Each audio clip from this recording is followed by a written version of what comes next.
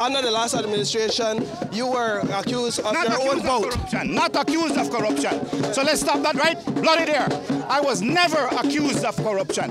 I was accused of get, receiving campaign contributions from somebody for my community.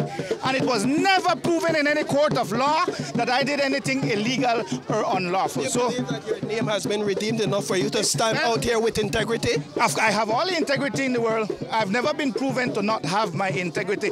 People have been trying to tell a story, but nobody has come up with anything to say that I'm a corrupt person. Sir, that, give me one, give me one thought on your uh, bid in Belmopan and how that's been going and your support you're receiving in Belmopan, right? I feel very confident. The people, the people of Belmopan are, are very intelligent people. They have sifted through the noise that was there in 2020, and they understand exactly what the difference is now between a John Saldivar uh, UDP government in Belmopan and a Mira PUP government in Belmopan. They understand the difference. Mira is not getting the job done. Certainly not, and certainly not in the quantity that I used to get it done.